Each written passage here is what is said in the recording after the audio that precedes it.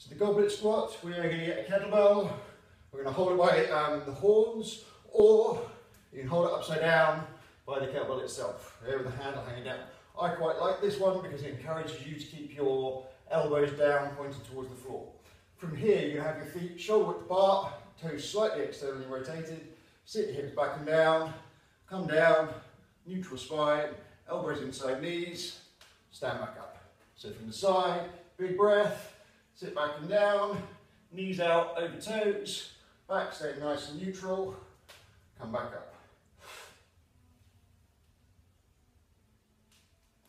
There you have it guys, kettlebell goblet squat.